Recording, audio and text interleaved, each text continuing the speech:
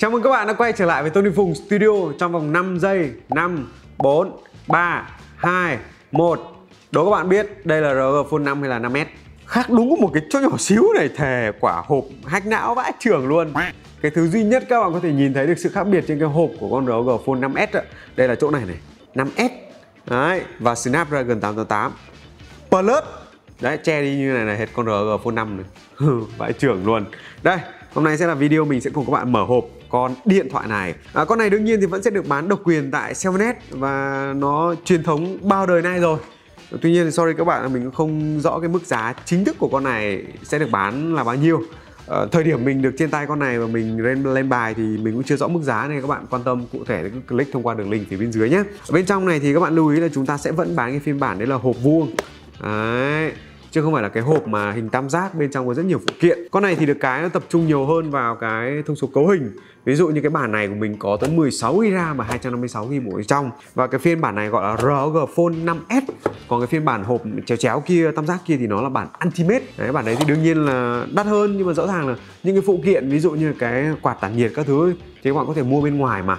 Nếu như bạn nào không có nhu cầu sử dụng quạt tản nhiệt mà các bạn sử dụng quạt tản nhiệt vỏ sò lạnh các thứ chẳng hạn ấy, thì rõ ràng cái chi phí bị đội thêm ra nó tiết kiệm để các bạn mua sắm những phụ kiện kia nó nó hay hơn. Mỗi người có một trải nghiệm nha, mình không bàn đến cái yếu tố đó quá nhiều nữa. Ok, bên trong này chúng ta sẽ có củ sạc này 65W tương tự hoàn toàn như RG Phone 5 sợi cáp, bọc dù, hai đầu xi cũng tương tự hoàn toàn như RG Phone 5 và quan trọng là các bạn giữ hai cái này cho mình. Đấy. Hai cái túi, đựng hai cái nút.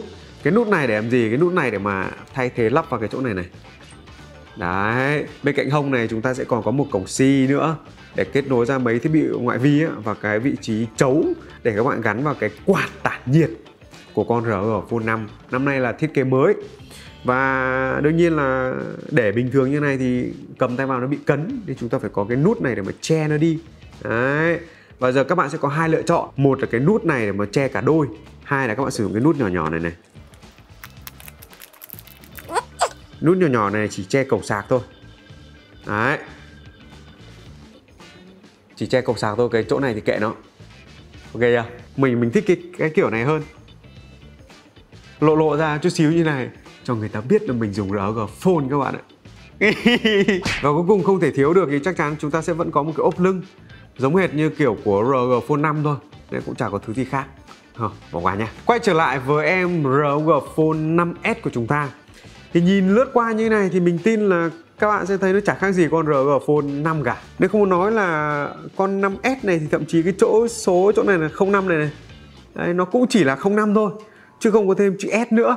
Đấy, nên là nói thẳng ra là thiết kế mặt lưng của con này giống 100% với cả RG Phone 5 thông thường.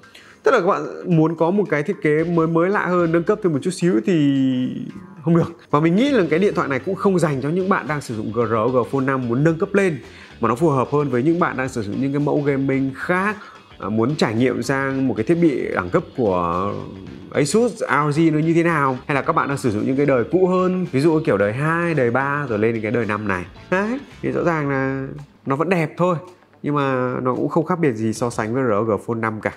Ok, rồi mặt trước thì chúng ta vẫn có cái màn hình tương tự hoàn toàn với RG Phone 5 Chúng ta vẫn có tần số quét màn hình là 144 Hz và cái khả năng hiển thị của nó thực sự là quá tuyệt vời luôn. Nên ở cái yếu tố này chắc mình cũng không cần phải nhắc lại quá nhiều. Bởi vì mặt trước các thứ như nào, loa stereo như thế nào, màn hình không bị khuyết như thế nào Nó quá là quen thuộc rồi. Nên bây giờ mình sẽ muốn nói nhiều hơn đến cái nâng cấp có thể nói là đáng giá nhất trên cái điện thoại này. Đó là Snapdragon 888 Plus ban đầu mình nghĩ rằng là với Snapdragon 888 Plus thì nó sẽ phải mạnh hơn như thế nào so sánh với Snapdragon 888 Thế nhưng thông qua những cái bài test của mình ở đây thì mình chợt nhận ra một điều là nó cũng ờ, không khác gì. Không, có khác nhưng mà cái sự khác nó không đến quá nhiều.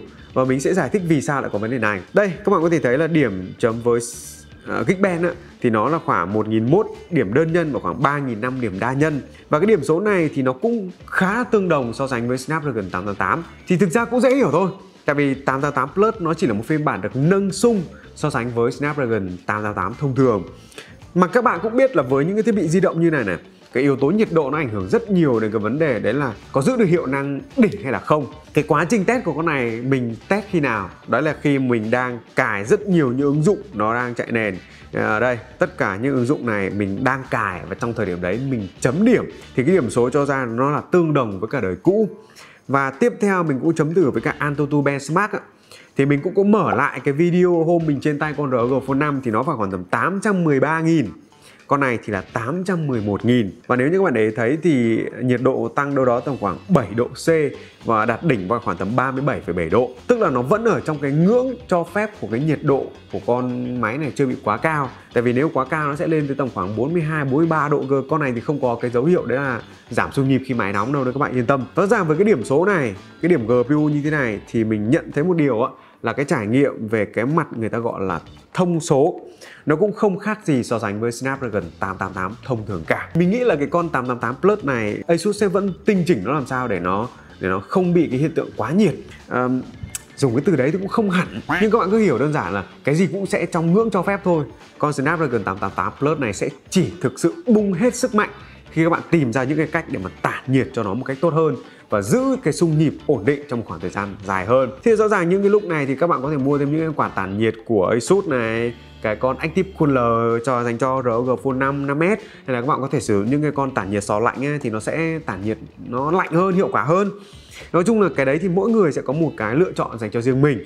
Mình thì không nói là cái nào tốt hơn cái nào tại vì ờ, đều là đồ ờ, hỗ trợ tản nhiệt cả vấn đề chỉ là hợp hay không thôi. Ví dụ như cái quạt của Asus ấy, nó chỉ là cái quạt thổi gió nó sẽ mát ra tay của các bạn. Các bạn cầm nắm trên cái điện thoại này sẽ dễ chịu hơn. Còn một vài những con quạt tản nhiệt sò lạnh ấy, thì nó mát cho cái máy điện thoại này. Nhưng mà bởi vì nó có nguyên cả một cái sò nóng ở phía bên ngoài để tản nhiệt cho cái con sò lạnh ấy thì nó lại bị phả hơi nóng ra tay của các bạn. Cầm nó sẽ lại khó chịu hơn.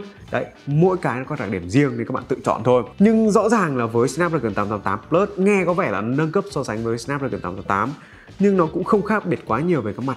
Thông số khi mà mình chấm điểm thì mình cũng thấy hơi bị buồn nhẹ. Nói sao thì nói nó vẫn quá mạnh. Nó mạnh vãi đạn luôn.